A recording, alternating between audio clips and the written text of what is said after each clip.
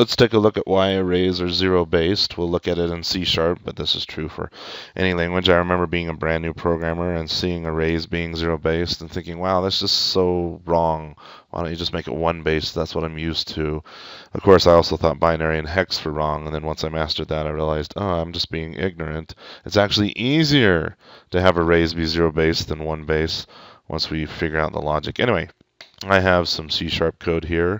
It's a little bit different than anything I've written before. I have this unsafe keyword and this fixed keyword and then this syntax for a pointer. But let's begin here. Hopefully this looks a little familiar. I've made an array and I've put some elements inside my array. And this array sits out on the heap. I want to make a pointer to my array. And in order to make a pointer to my array, I have to do that in an unsafe context. And why is this context considered unsafe? Because pointers allow me to just walk around all over in memory and I can write to them and damage things. Generally with C Sharp, .NET, you can't hurt yourself, but using pointers you can actually uh, do some bad things. If you really want to see what kind of bad things you can do, go to my C++ list and check out pointers. But anyway, I have to do this in an unsafe context. And I also had to go to my Scratchpad properties and click allow unsafe code. Otherwise, this would not compile. And then I had to use this fix keyword, which means fix my array to its array location. Do not allow the garbage collector anywhere in here. Do not allow the garbage collector to move my array around. Now the syntax you're seeing here is from C++. I have p, and p is a pointer to my array. Now we know in C Sharp that arrays are objects. And what do I mean by that? I can say my array dot length. We've seen me call length. I can say my array dot Lots of different methods out here.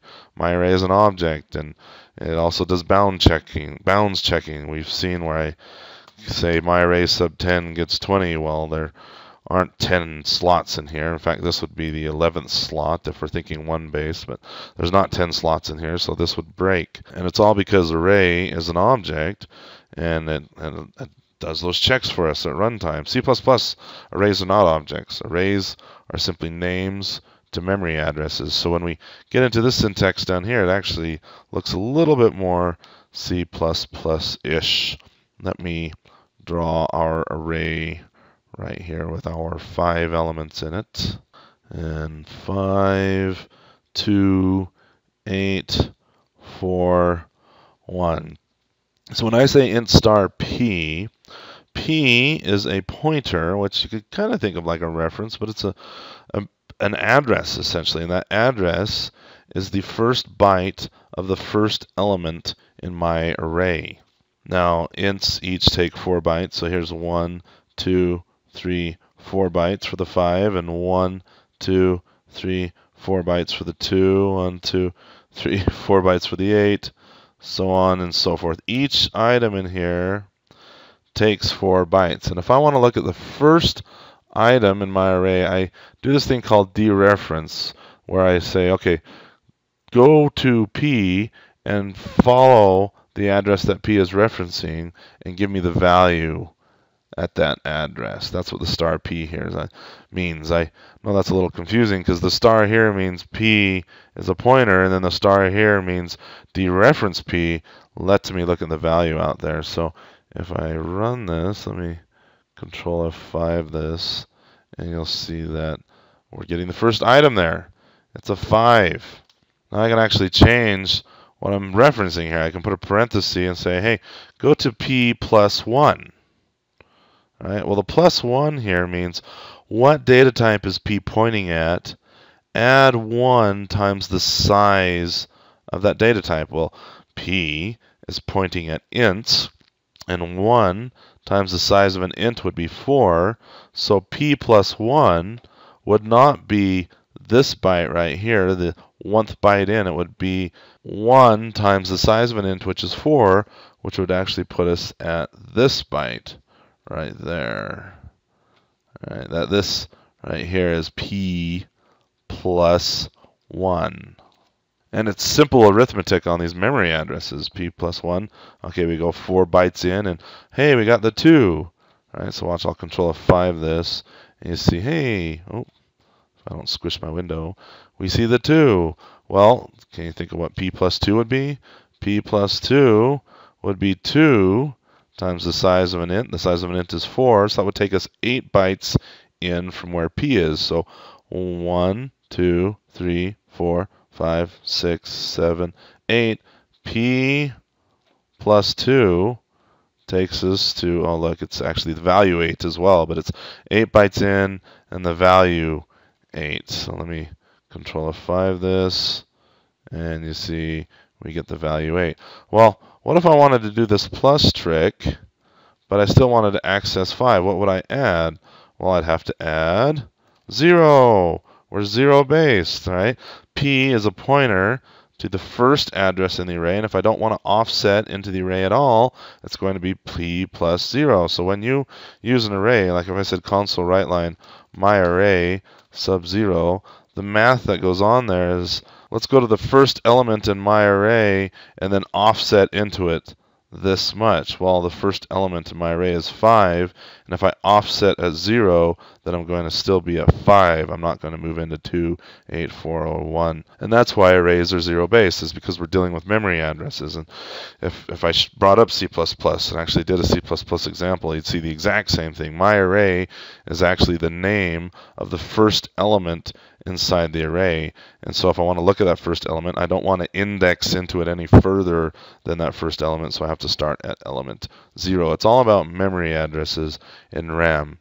Now in C Sharp, arrays are objects, and they actually store some extra info, like their length, and I think there's a type pointer in there and other stuff. So the actual value 5 does not start at the beginning of the array, but C Sharp's smart and realizes, hey, if you're taking a pointer to the array, I'll figure out what the actual address of the first item is in this array. I can actually prove this to you, but I'm going to have to do this by looking at some low-level assembly code.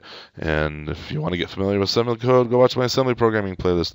If you don't, just sit back and watch because a lot of this will still make sense even though you don't know about the nitty-gritty details going on here. I'm going to hit F11 and we get this wicked debug screen coming up. We get our registers. Registers are little pieces of memory that sit on the CPU. We can also see our RAM over here. We see our C sharp here on the left. I hope you turned up to high definition. Control Alt D. This brings up the disassembly window. These are the native instructions. You can see that the debugger's nice here and gives us our C sharp and then our C sharp turned into all this stuff down here. I'm going to F10 down to let's see this call instruction right here.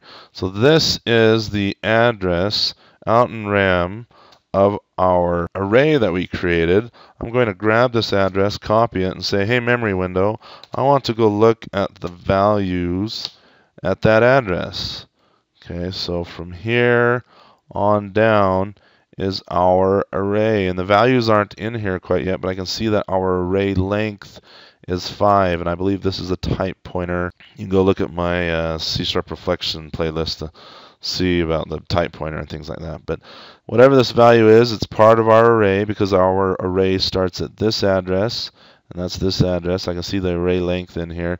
And I believe the actual data in the array begins right here and goes down. In C++, our array, our array name would be right here. It would go to the actual data and go downward. C++ does not track the length of the array and that kind of thing for you. You're right next to the processor. Anyway, different topic for a different time. Let me F10 over this.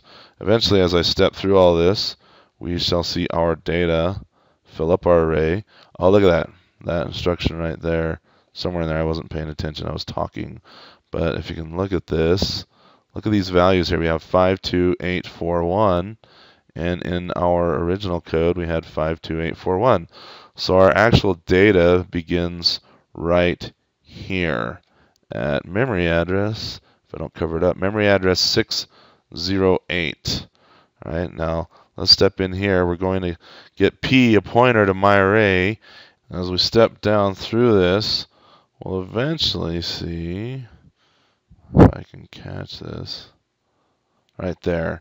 Look, EAX, this instruction right here, load effective address, EAX plus 8 into EAX. Well, the plus 8 is to get us past these 8 bytes right here.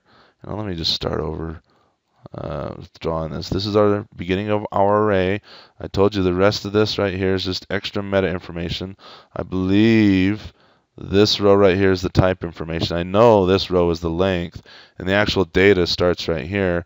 So my pointer, inside my pointer, they said, let's load this address, which is 8 bytes past all the fluff. The fluff starts here, and let's go 8 bytes. Here's 1 byte, 2 byte, 3 byte, 4 byte, 5 byte, 6 byte, 7 byte, 8 bytes. Let's go 8 bytes past that, and that's where the actual pointer will point to, because this is the beginning of the data. Here's the 5, 2, 8, 4, 1, the values I stuffed in our array. And now if I F10 on this, um, obviously this isn't very interesting doing p plus 0, but actually maybe it is interesting to see p plus 0 because we're talking about why arrays are 0 based, and it's simply because p plus 0, well p, this p right here, is pointing at this address. And if I want to look at the value in the address, okay, P is actually storing the address. This is something else I could beat into your head. This is the address. This is the value at that address. This is the address. This is the value at this address. I go back and forth with this all my all the time with my son. P is storing this number P is 4 byte pointer storing this number, which is this address. And to look at the value at the address, I have to go to the actual RAM, and here's the value. The plus 0 means don't go any further into it, but if I did a plus, plus 1 here, remember we tried a plus 1 right there, then that would be 1 times the size of an int. Well, the size of an int is 4 bytes, so plus 1 would actually be this address.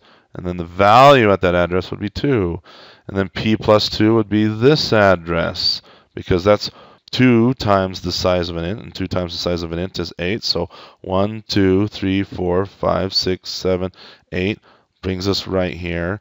The value at this byte is 8. Then we have 0, 0, 0. I know it feels weird to have the 8 on the left. It seems like we should have the 8 on the right here, but that has to go with has to do with endian swapping. You can look at my videos at endian swapping. Anyway, that's why arrays are zero base. It's probably way too long of a video to discuss why arrays are zero base, but very simply, the array marks the beginning of some bytes, and then we just offset into there. And the first item in the array is item zero because we don't want to offset any further into the array.